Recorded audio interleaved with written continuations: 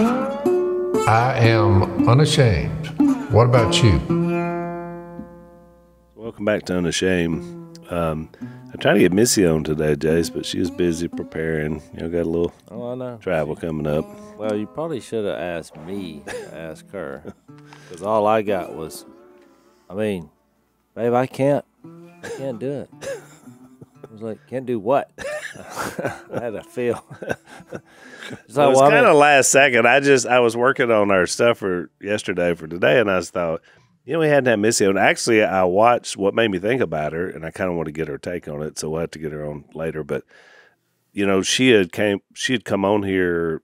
I don't know. It's been a few months ago, and talked about a an episode she had in a library, and it was kind of a remember all that. And so it was the Brave Books who does her books, and um, but I noticed this week they had another thing going on because it was kind of like a national story, and Yeah. and it was the same people that were with her. I, I I saw some footage from it last night on the news. That's what made me think about Missy. I was wondering what she thought. And uh, Kirk Cameron was there, Riley Gaines was there, kind of the same crew that was Yeah. with her. I think she's out of it now. I mean, she she just she probably wouldn't have known. you Yeah, know. I was in, I was interested, but they had it's kind of the same deal. It's like a bunch of people were going to show up, and so, which I kind of feel bad for these libraries because they're normally sitting there and nobody's ever coming in there, and then all of a sudden somebody like this shows up, and a bunch of people want to come hear it, and then it becomes a big deal for them. And so they were in Alabama, so you know, first they said they couldn't do it, and then it was a lot of controversy, and then they did it. But it was a packed house. I noticed uh, Kirk was there; they were singing "God Bless America." I mean, you know,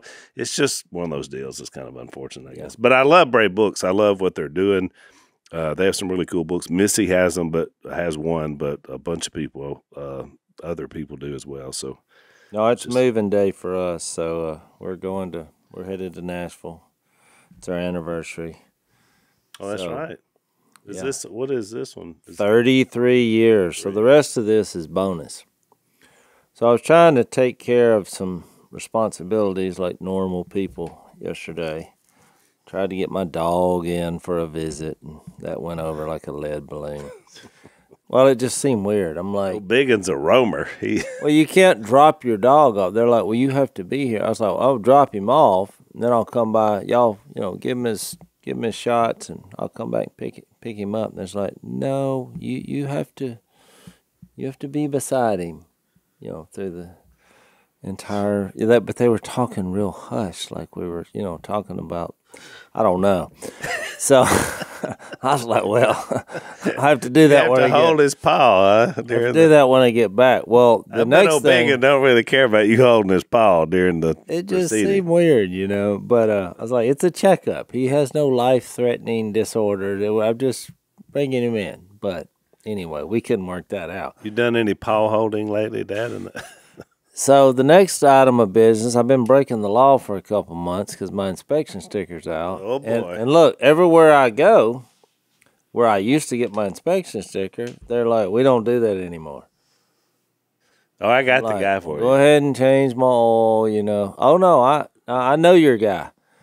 So I I uh, did the search on my on my phone, and there were four possibilities. So I picked the closest one.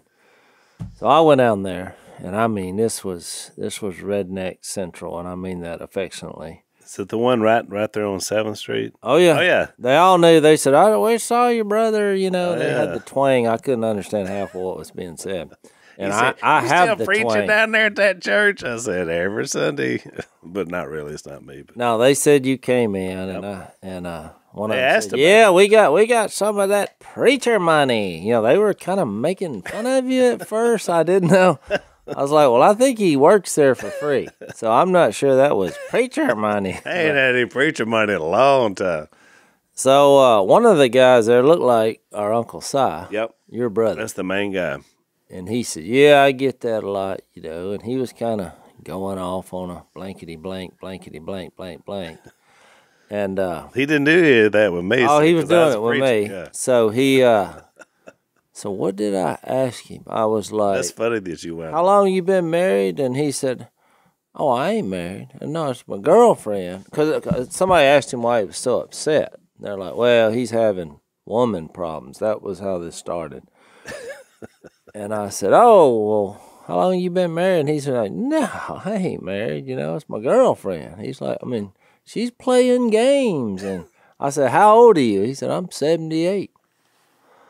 I said, "So you're still doing the dating thing, the playing the game?" He's like, "No, I'm not playing game." I said, "Well, let me ask you a question." I said, "How many times have you been married?" He said, three times." I said, "Really?" I said, "Have you ever considered? Have you stopped and considered that maybe it was you?"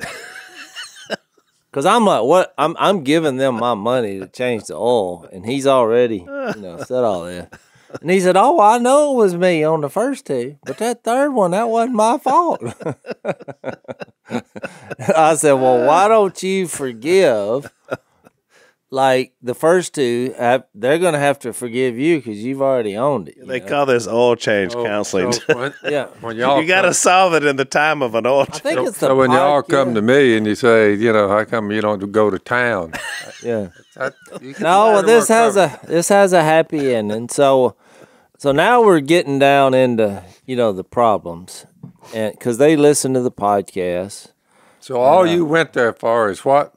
Get my oil change and get well. I, I went there to get an inspection sticker, but I threw in the oil change out of the goodness of my heart since Yeah. they were making a little money. This thing is branching out into marriage. Into marriage. There, well, so then this guy, they're that- they're kind of bored there, so they like a good So then the guy who who uh, who's looks like Si, all of a sudden uh, he said, now 38 years ago, you know, the Lord saved me because he said the first two, were, you know, it was this.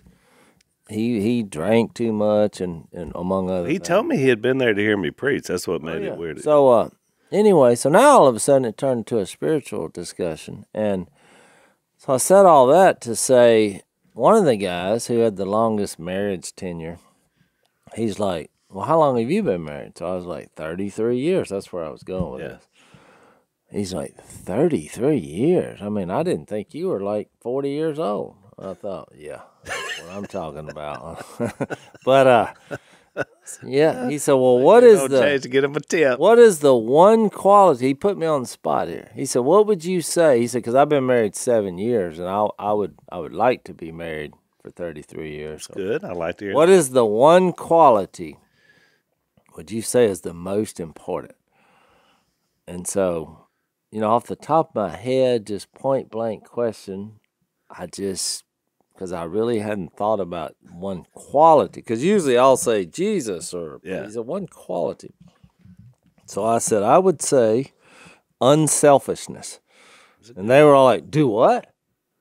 What?" I was like, "Yeah, you've Too never many- you've never syllables. heard the word unselfishness."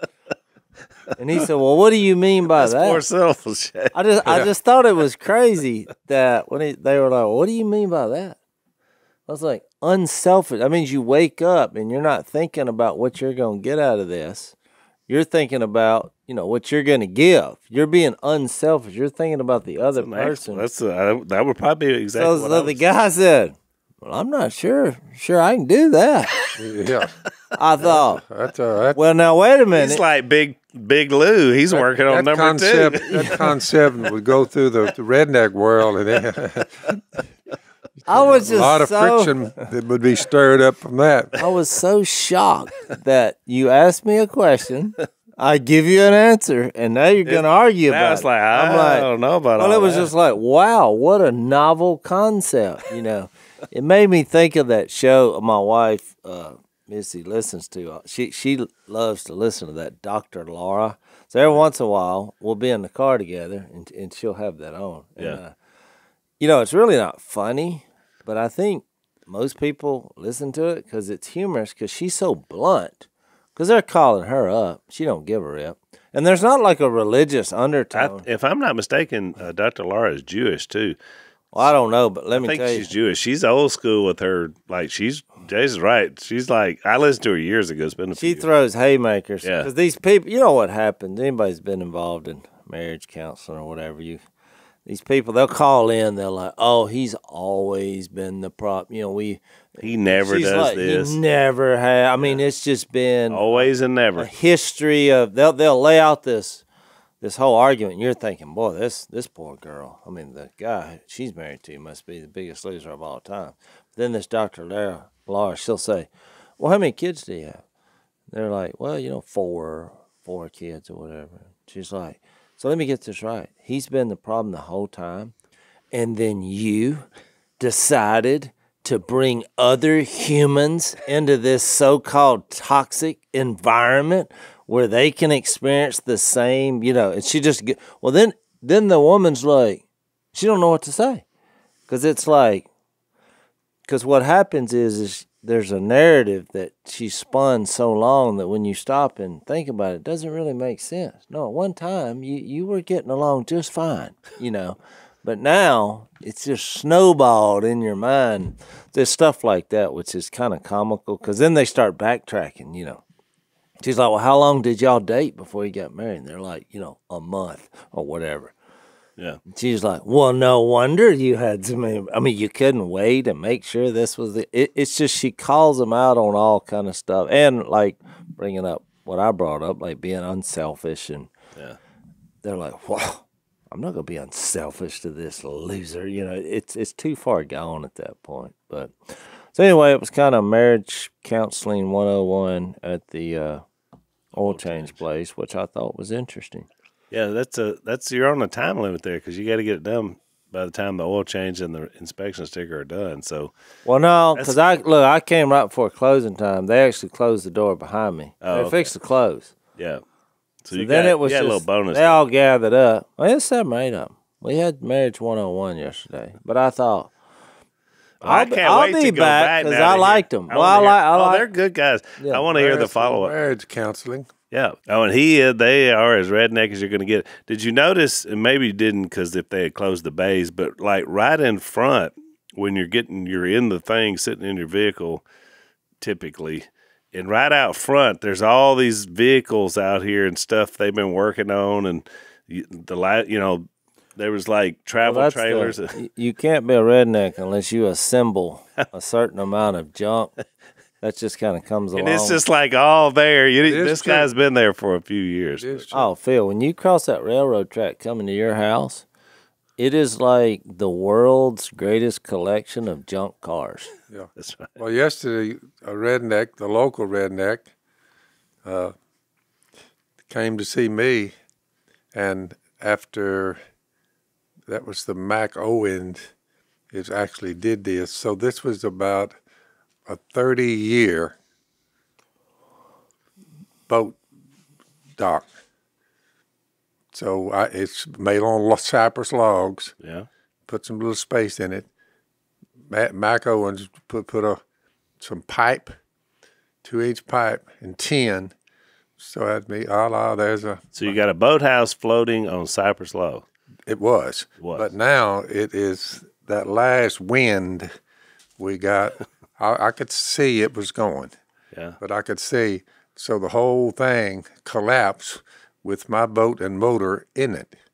So it was just steel and tin that all collapsed on top of the boat and motor. Yeah. So Which will as probably luck, as luck boat- would have it, a local redneck came down there, and uh, I mentioned a crisp twenty dollar bill. I said, "You, it's what's in it's for you." I said, "Go down there and get all that tin and pipe off my boat and motor, and see if it'll run." For a whole twenty dollars. And I can't believe he agreed. he took Phil- off. He Phil, took off like inflation has gone up. I would And a I would twenty doesn't go. I go. would offer a hundred for that minimum. no. I didn't had it here lately. You know, Yeah. paying more money than than it's worth. Good grief! So I just said, "Well, if you'll do this for twenty bucks." Twenty. So he went down there. He said, "Yeah, ain't no problem." He so he went up and got him some kind of cutter, cut a big square in the tin that was crumpled. It was all over my Did you let him take the metal with him because he probably sold that. So he he got rid of that. But that he's he come up right back up there. He says boat mo, boat motor out from under the dock. So that So was now the- you no longer have a boat. it was the passing the passing of an era. Yeah. It's been that that old boathouse has been there a long time. So when we were kids, um, you know, you learn by a lot of different means. You know, in our case, Jase, we lived out in the middle of nowhere, so to speak, but it was somewhere for us. So we explored, we had adventures, uh, maybe even a little mischief uh, here and there. Uh, they say that a child's morality is ingrained by the age of 10. So what you put in there at an early age is going to make a huge difference. And um, we have a brand new sponsor that I'm super excited about. It's called Brave Books, Ooh. and they target uh, children four to 10. And Jase, your wife, Missy, uh, has written a book uh, that's in the Brave Book family because you're my family. She did, and I actually read it, and I I got a little uh, misty eyed. It was there really really good. Yeah. Trust me, if my wife's involved, I endorse that because she has a high bar. Well, there's a lot of people that you'll recognize that have written books. It's they're really great, and it's really a, it's kind of a book club because they're going to send you a picture book every month. It's going to come right to your doorstep. It's going to teach your kids traditional values. All these are written by pro God, pro American authors, and our own, our very own Missy Robertson is one uh, that contributed as well. So once you check them out, equip your kids and your grandkids with these fun books that teach the truth that we so desperately need to hear in our country. Subscribe to get a new book delivered right to your doorstep every month with the Freedom Island Book Club at bravebooks.com and you'll get Brave's newest book free when you sign up. Use the code unashamed to get 20% off your subscription. That's bravebooks.com. Use the code unashamed for a free book and 20% off your subscription to the Freedom Island Book Club. Check them out.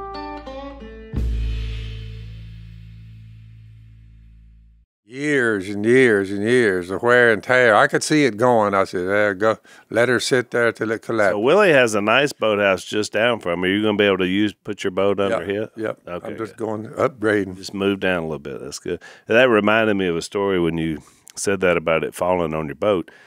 A few years ago, when I was living out in Calhoun, our house hadn't been built long, but less than a year. And when we built it, it was a carport, but they called it a porte-cochere you know fancy French name because it's not actually it's it's freestanding. So it's it's got you know some two by fours that are holding it up and it's attached to the house. And when Tony built it, he said, I don't know, Al. He said, boy, he said this thing will take a lot, but if we boy if we had a tornado or something, this this thing would probably just blow away. But we talked about it and decided just let it go. Well, a straight line wind came through that year, just a straight liner, seventy mile an hour wind. It's not a tornado it's just a wind that comes through, and you can look above it, you know, and see where it takes trees, everything else. That thing came along, picked up that whole carport, moved it about three or four feet. Well, of course, then it's off its feet, and it just came right down on top of my truck.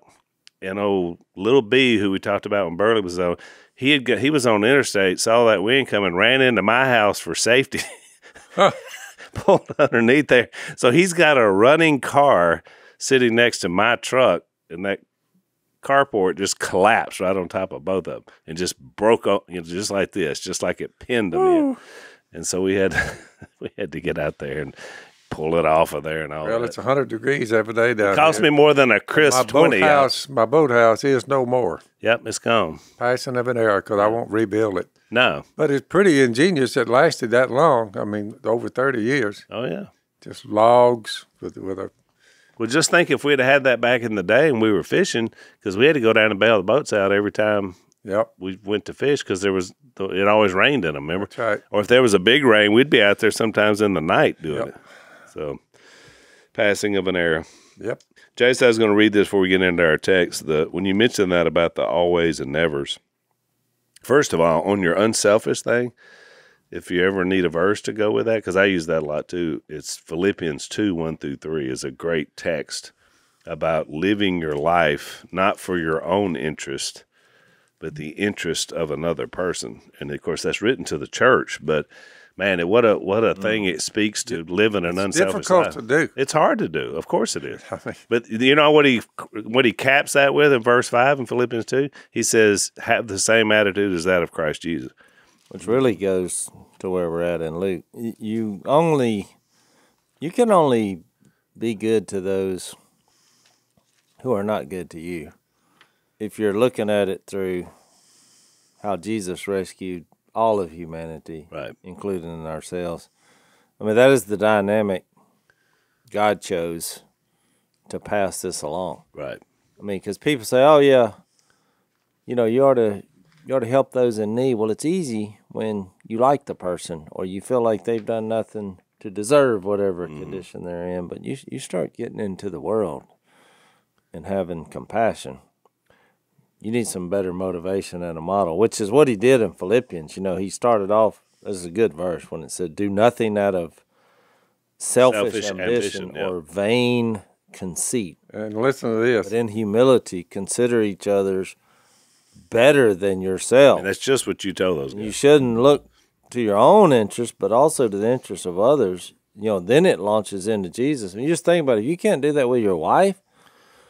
Well, So how are you gonna do it with anybody? you're sure not going to do it with your enemy. No. I mean, that's And just, the underlying underlying amazing part of Philippians, Philippians one four. You, I thank you really for your partnership in the gospel from the first day into now. That's one. Two, go out. I'm in chains and defending and confirming the gospel. All of you, same at two. Three, uh, what we, what you're doing is really helping advance the gospel. That's that's three. Four, the latter do so in love, so that I'm put here for the defense of the gospel. That's five. Verse 18, what does it matter? The important thing is that in every way, everything, whether from false motives or true, Christ is preached. And because of this, I rejoice. That's one, two, three, four, five times mentioned the gospel in the first chapter. Whatever happens, verse 27, conduct yourselves in a manner worthy of the gospel of Christ. Well, there's that one. Then the next one, you stand firm in the spirit, contending as one man for the faith of the gospel. Look, you start reading through that thing on what sharing Jesus means, starting with the prayer that you quoted. You look at that, it's amazing how many times I, I see just from one page in chapter two, you know, Timothy is proved faithful because as a man with his with his father, he served with me, kind of like a dad complex thing, in the work of the gospel. So it's amazing just in the book of Philippians one two. That's seven times, and you don't have to turn a page. You just got chapter one and two. Then you just look at it. You say their whole life was built around Jesus, Him dying, being buried, and raised from the dead. They're, they're, they're everything they did. Yeah. I mean, they were just just like this. It- I mean, just read Philippians. You say, boy, it's hard to do without any kind of prayer in there. Yeah. You know, Philippians is such a good book. Yep. We need to do that one sometime. I don't think we've done that on the podcast. And one more thing I want to mention before we move on from that, because Jay sparked a lot of my mind talking about marriage, because Lisa and I have done a lot of marriage ministry through the years. When I hear a couple, back in the old days, we used to do a lot more counseling with couples, they would be, they'd be, you know, they come in, they're giving you all their problems, you know, they're, here's where, here's where we're at. And I would always hear, always, that always and never. Mm-hmm. She always does this. She always does. He never does this. He never does it. And I love going over to 1 Corinthians 13 because I usually say, man, I, I'm, I'm hearing a lot of always and never out of you two guys. It, it sounds like y'all are locked into an eternal battle. I said, let me read you something. See, see if this compares to your lives and kind of what's going on. Love is patient. Love is kind. It does not envy. It does not boast. It is not proud. It is not rude. It is not self seeking. It is not easily angered. It keeps no record of wrongs. Love does not delight in evil, but rejoices with the truth. It always protects, always trusts, always hopes, always perseveres. Love never fails. that proves that most people have a love problem when they, It's have, a love when problem. they have a problem. And I, and I say, if we could use always and never in those terms instead of what you guys are, if you you're so locked in on that, I love you has taken on new meaning. Yeah. And they forget that. Jase is right, or Dr. Laura, I guess, was right. They forget what brought them together to start with. Yeah. You, you just get so much garbage in that you forget. And sometimes you just got to reset to the simple, you know? So, Well, that's what I, I even think you see that, you know, when we were talking about the parable of the Good Samaritan, you know, when he asked, Who is my neighbor? Which, once again, that's usually the alternative to a bad marriage situation. They're like, well, this, you know, it's it's it's the person I'm with, and the grass is always greener. And so then First you see, two was good, good, but number three, but you see this when people have marital problems. You know, all of a sudden, I mean, it doesn't matter, the husband or the wife, they they start working out and eating right and After you know, the look, fifth dre- one, dressing up and looking. But then you're like, well, if you'd have been doing this to get your husband or your wife's attention, you wouldn't even be in this mess. You know, it, it, it's like all of a sudden, once there's an alternative that doesn't involve them, they start making all these changes That's and putting I'm their best- discussing with them, and I after if if they're up to five different marriages, and then we didn't work out, then we're there on number five.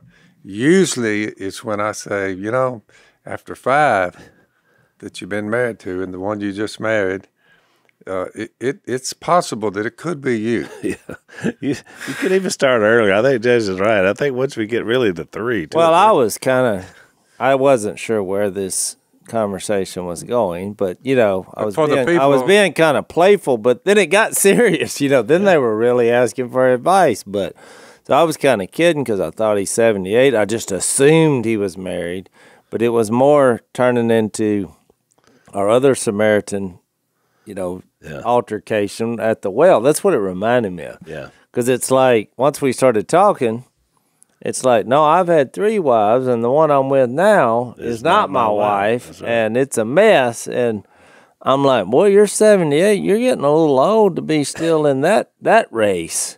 And he's like, tell me about it. I mean, Dad, you're almost you know you're you're right there. Can you imagine game playing and you know I can't Having your imagine if girlfriend it- show up, girlfriend shows up and say you don't love me anymore, and you know whatever. I look at some of them s- last, some of them stunts I pulled in my last one, and the only one I've been married to is Miss Kay, but just just one, it can cause you a lot of misery. I can't imagine five. no, me neither. It's best to work it out. Let's take another break.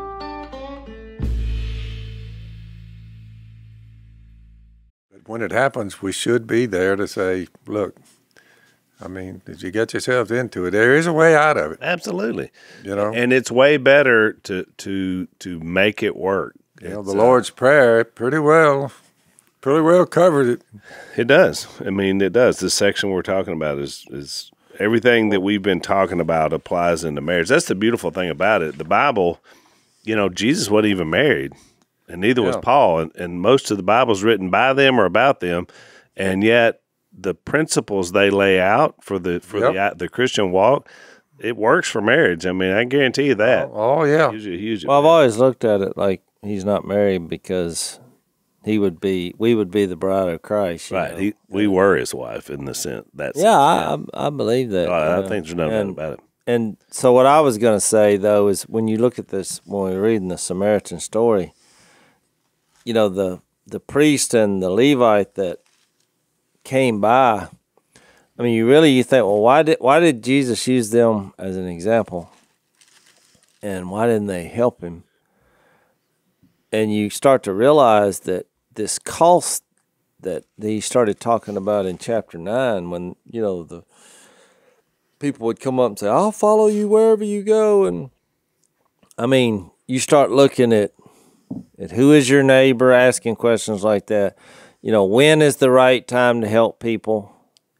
These are the things religious people do, you know, because you don't want to put yourself out there if it's going to cost you a whole, whole lot or it's mm-hmm. dangerous or but Jesus is the one who came up with the story. He he made it it's a parable but it's it's really about a real place where people were being robbed and it's real people. There's re- there's real hatred even to this day among Samaritans and Jews. And so when you think about what Jesus is saying, it's like you're not you're not going to be able to do this unless you're willing for it to cost you something. You Right. know, your pride, uh, and then even the money that the guy spent. You know, the hero here, the Samaritan. with no he didn't do it with any idea and inkling that he would ever get that back oh that's right. it wasn't like I'm loaning you this money to take care. I mean, he just did it to take care of the guy. So There's that's no what- expectation that's my of point. payment. You're like, how much is it going to cost me to love my neighbor? It's not just who is my neighbor. All these questions come up. How much is it going to cost me to love my neighbor? Yeah. Or uh, when is the right time? I mean, we come up with that stuff because we really it's just a lot easier just get on the other side of the road and act like it never happened. So I hope I hope it works. I'll pray for you. So or I don't want to get tangled up in that. Well, right. That's what I'm saying. A lot of times when somebody says, I'll pray for you, that's code for I don't want to get involved. Yeah. But, oh, I mean, it's unfortunate, but it's true. It's true. We've uh, Lisa and I've helped people before. A lot of times, sent people to maybe a one of these marriage ER, like Joe Beam. We had him on the podcast, like he does, like a weekend, and you know they got to you got to pay for that being done. But a couple sometimes in crisis, and so they just don't have the money to get there, but they want to do the right thing, and so we've helped them before. And afterwards, they come back and say, "Well, we want to pay you guys back and start a payment plan, whatever." And I said, "No, um, I didn't give you that to be paid back." Yep. but I want you to pay that forward because if you heal, one day somebody's going to come to you and say, Hey, y'all got a great marriage. I need help. And you know what you'll say? I know some people I can get you to. And if you pay it all forward instead of worry about paying people back, Yeah. then they help other people. That's kind of, I mean, to me, that's a big principle of what he's talking about. This Samaritan got it. But you know, it's interesting, Jase, you're right. I don't know that he picked the, the Levite and the priest, and we didn't get into it too much when we talked about that. The priest, from a Jewish standpoint, was probably the most spiritual connection they had because he offered sacrifices. The Levi, the Levite uh, tribe, was set aside just to do work in the temple. So the the Levite in this story is kind of imagined like a like a junior priest. They're doing all the just the you know stuff that has to be done in the temple, the animals calling off the carcasses, you know that that kind of work. But these two guys would have been seen as as spiritual because it connected them to the temple. But you know from this story, that doesn't make you spiritual at all. Because you can just walk by and then cross the other side of the road and just keep on going. Yep. I mean, so I, I do think it's for people that view our church experience in the 21st century that you're going to the temple on Sunday and you're offering up your tithes of worship to the Almighty, and then you leave and go, and that's what you just did to be spiritual. If you've got that mindset, you're going to be just like these two guys.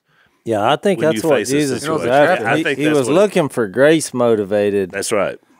You know, Uh, Catholicism you know. has a little, little, little nest where you go in and sit down, and one of the one of the priests he sits down over there and he listens to you. Your confessional, yeah, Yeah, yeah. booth. Which it's a pretty good idea. It's a great idea, and but you can Yeah, do but that. We any- tend to do it without the. but him- Jase did it at the oil change place yesterday. Yeah, I mean, I'm not even sure how we that's got. the difference right there. I'm saying right. I mean, he, he, Jase's story proved what we're talking about here.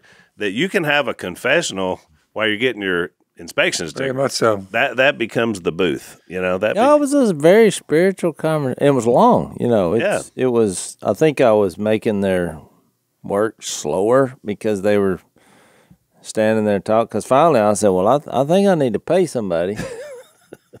and they're like, "Oh yeah, yeah." I mean, they hadn't even had it written up because we were just sitting around talking. I mean, I was kind of like, Probably Are- are we the, done? the- if individuals went out and do what Catholicism did with one person, you know, you go over to see some guy, you know, some priest. But uh, I think the way this just everyday events, things that happen, you can kind of prove who you are and who you're not. That's for sure. I think it's the best way to live, and I think it was the whole point Jesus is trying to make. Because you had this expert in the law, member that was coming in with this premise, and Jesus was like, "No, you missed it. Yeah. you, you missed the whole deal. Let's take another break." So it comes out that mercy became the thing, um, and I think Jason's right. I think that particular story leads to the love your neighbor, you know, who is my neighbor. Then I think we got into the story on the last podcast with Lisa was on about Mary and Martha, which kind of hits that first aspect. The more I've thought about it, the more I think you're right about being all in on on who God is. You know, mm-hmm. love the Lord your God with all your heart, soul, mind, and strength. That this is sort of an illustrative story of these two women. One of them doing good things, opening her house up, having an opportunity for Jesus, but then really not. She was dragged away by her worries and her, you know, all the stuff we talked about on the podcast. Whereas Mary was all in on just listening, learning, you know, who Jesus was. So I do think there's something to that that leads us into the into the prayer conversation. We're it does because I think Jesus is really uh, identifying what you think you need versus what He knows you need, which is why when He did get to the explanation of prayer, and we get to the end, which Phil read in the last podcast, when He says in verse thirteen, "If you then, though you are evil, know how to give good gifts to your children, how much more will your Father in heaven?" give the Holy Spirit to those who ask Him. So that was right after He said, verse 11, Which of you fathers, if your son asks for a fish, will give him a snake instead? Or if he asks for an egg, will give him a scorpion? So this is this comes down to trust. I mean, and, and this is a classic example.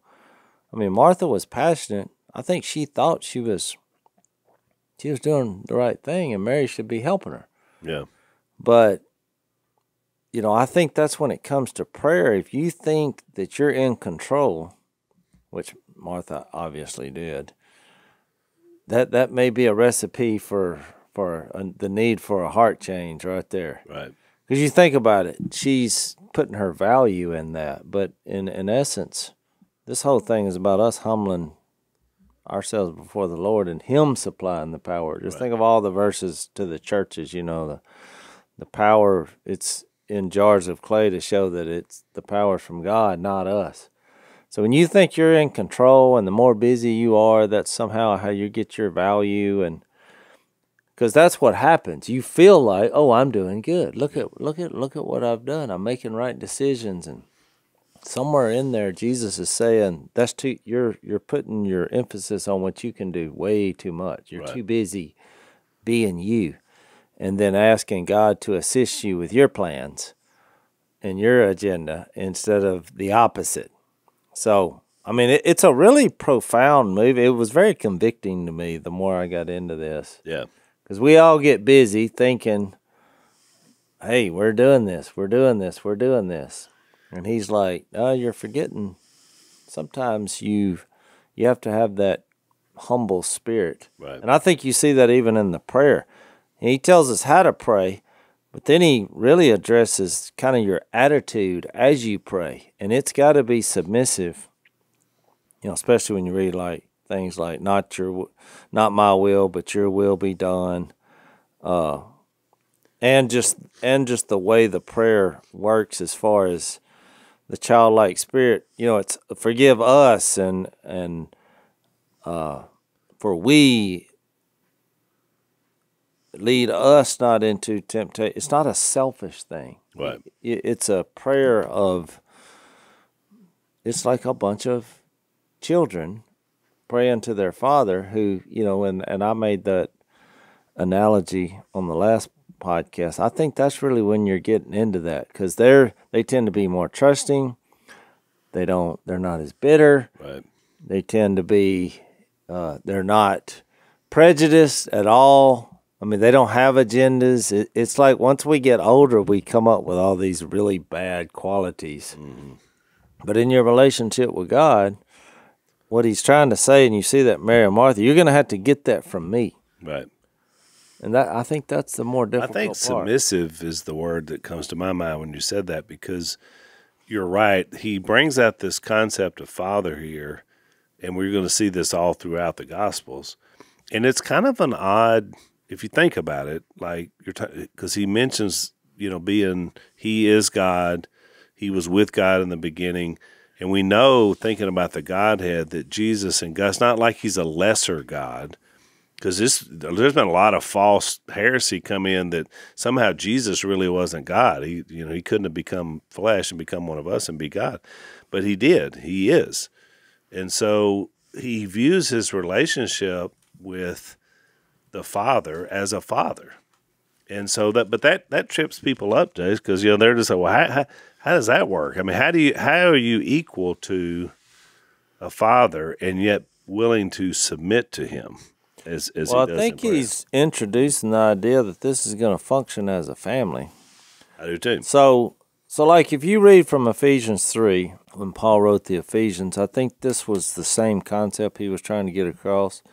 So in verse fourteen, it says, "For this reason," of course, he's talking about Jesus reconciling the world and bringing Jew and Gentile together under one roof at the foot of the cross, kind of the same message that Jesus is showing by having an illustration about the Samaritan, other Gentiles up to this point, or what do you call the untouchables? Yeah. So then he says, From whom, verse 15, Ephesians 3, the whole family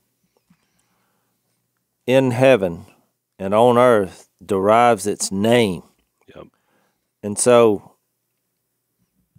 all of a sudden we're talking about a forever family, a spiritual family. And even even in that prayer, when he was talking about uh, in in Matthew's version, heaven and earth coming together, because really heaven, for the first time through the kingdom of God on earth, is being introduced to earth. You Right, know right. that you can be part of a forever family, even though you have a physical family Right.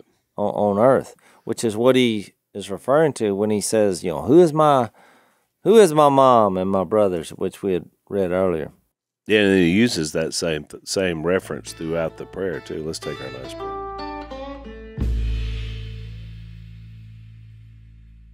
So then Paul says, verse 16, I pray that out of his glorious riches he may strengthen you with power through his spirit in your inner being, which sounds a lot like the prayer that he that he just Mm-hmm.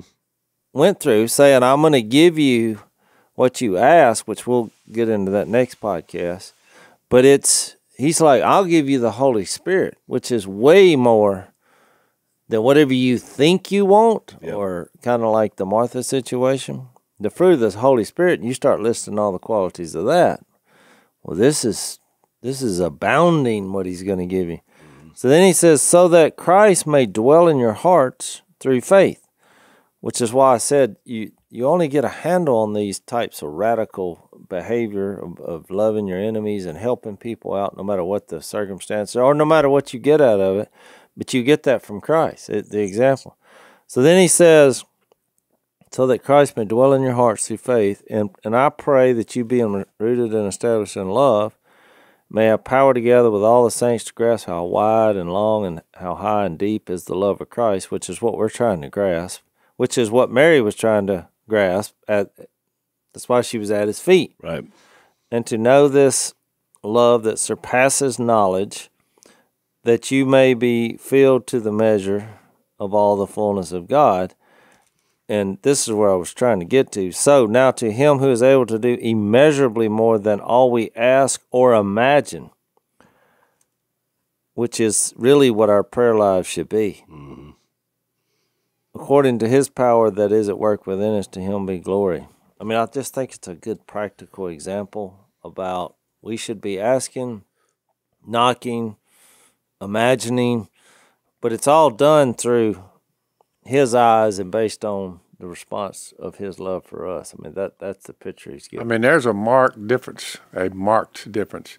If you watch the family structure, and the dad was a solid son of God, but but the the, the mother is not, then you have the kids coming up. There's a big difference, and then you say, well, what if it was turned around? The wife, the woman, was a daughter of God, but the husband was not. There is a difference Yep. when you observe, uh, observe that. Yep. I mean, there is a difference between them. Right. It's a pretty clear difference.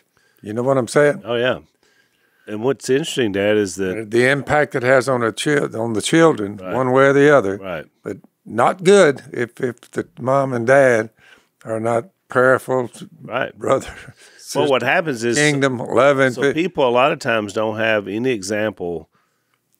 They've never seen what we're describing in their own home. that is correct. So then they hear about Jesus and they hear about talking about father and family, and they see that and they think, well, man, that seems pretty good, but why why was mine so crappy and bad? But if you think about it, it it's it's it's a perfect illustration. If you see somebody that has submitted their lives to God and they're trying to lead their family that way, it seems like a better structure. Oh, And but if you haven't seen that, then you should want a better structure. I mean, like there's no reason to say, well, you know what, that just seems too good to be true, so I'm just going to live a crappy life and do it for generations. Yeah. I mean, the alternative of that choice seems like such a bad idea. I get it that it's not easy because you hadn't seen it, but it, when you do see it, it should if make you see the ones who come out of the world and they don't go back to it, Yeah. they, they they they they look at these verses and they fulfill them. Mm-hmm. I mean, it's just a lot better family unit. Al, I'm sorry, it, It just, is. It's a way better way to roll. And some people, when they're traveling down this road, they're kind of in and they're out, and they have some Yeah. good years and some bad years. We had the opportunity to see a stark change because of you and mom, and so we just literally saw like the bad highway and the good highway, just like that. Although you're not perfect, but you made such it a didn't take rocket scientists as young bucks to, to look Oh, around and say this is the best route. It's the best route, and even though it took you know me a while to get there, I, I mean I know now. I know that's the way to go. So when I look at my children now and my grandchildren, I mean my oldest grandchild is in a relationship that one day could be another marriage. yeah, Your great granddaughter. yeah. And when I look at that and I see that, I'm thinking we have to continue this on in their lives. They have to see that and they have to know that. I mean, four generations. and there's two family structures in the mix. That's right. I mean, one on her side, the granddaughter, and then the one on the. But That's fortunately for you, he's a son of God. All these are we're working together. Oh yeah, Yeah, we had a powwow it's together. a it's a t- tedious. Tough, is. You better observe what's going on. That's right. It's pretty tough, Al. No, it is tough because we're fighting an enemy that is out to destroy. I think this. Jesus is laying out the toughness of it. he is. There's no doubt. You know, it. yeah, it's not that simple. right. It's not. I mean, Jase read that prayer. Paul's prayer in Ephesians three is one of the best prayers in the whole Bible. There's several great ones, but that's one of the best because it strives for. When you talk about what you imagine, to me, that strives for excellence. That I mean, because I can imagine a lot of stuff. Well, we started this off talking about marriage, you know, and that he's going to get to talking about our marriage responsibilities and our roles and our family and our physical family. But he, it's always a mirror to, you know, I love that in Ephesians where he says, I mean, you, yes, you should do this, but I'm talking about you and Christ, us being married as, as Yeah, to, to Jesus. So, and that's why you see us be hypocritical as human beings. Because I've had people say, and we all see this as marriages drift apart, and all of a sudden, you know, one of the those married they start pursuing other interests because they feel like this this marriage that they've been in is suppressing them and keeping them down, and they want to be able to do all that's imaginable or all that's possible. So I always ask that because I'm like, well, you know, what are you gonna do if this this does end? And they're like, they're so full of hope, even though this is a disaster for their kids, and because they're like, oh, well, the the possibilities are endless, and all of a sudden you're you find yourself reminding them, well, isn't God? I mean, in one breath, God's the God of possible as long as it fits what you want to do. that's right. But wouldn't it be possible for him to heal this marriage? Aren't there enough conversions in the Bible where you've seen people, including, you know, from murderers to adulterers to. Hadn't you seen God, you know, turn this around? And But they're not thinking of it that way. Right. It's only possible as long as I'm getting what I've decided to do. And I'll to pray have. to God to help me along the way. So really that's where you got to stop and think. Am I praying just for God to help me with my agenda? Because that's what Martha was really doing. Yeah. She was like, get her. She's not helping me. She made her case and she was convinced she was right. And he was like, you missed the most important part of this. That's exactly right. It's not about you. It should have been about me and my agenda.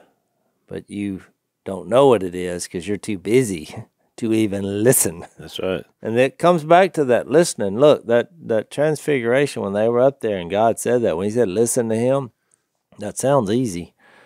But it's just very difficult on a day-to-day basis for us to stop and listen. We talked about that Greek word for she was distracted, which the Greek word actually meant she was dragged away. You think about dragged away, dragged away from what? From Jesus, from listening to what he was saying. And he had broken the cultural norm by having been having say, "Oh yeah, you you said I'll teach you as a woman like I would any man." I mean, he broke the cultural norm. Yeah. So, uh, but instead of her accepting that, like Mary did, she was like, "No, tell, please tell her to get back in here in the kitchen where she belongs." but Jesus is like, "No, she's chosen the right thing, and you should too, because you're worried about too much." So it really is a good chiding of that. So, so you mentioned Jase um, Ephesians three, which is such a good prayer. Uh, before we get into the what, what is called the Lord's Prayer, which actually probably a better description is the disciples' prayer because it was aimed at them. Um, I want to read a prayer to you that is meaningful to Lisa and I, that from in the Book of Psalms. But there's so many uh, if prayers we could pray that would make an impact. So I'm gonna do that in the overtime. If you want to follow us over and hear about that, blazetv.com slash unashamed is where you can get our overtime content. So we'll see you there. Thanks for listening to the Unashamed podcast. Help us out by rating us on iTunes. And don't miss an episode by subscribing on YouTube and be sure to click that little bell to get notified about new episodes. And for even more content that you won't get anywhere else, subscribe to Blaze TV at blazetv.com slash unashamed.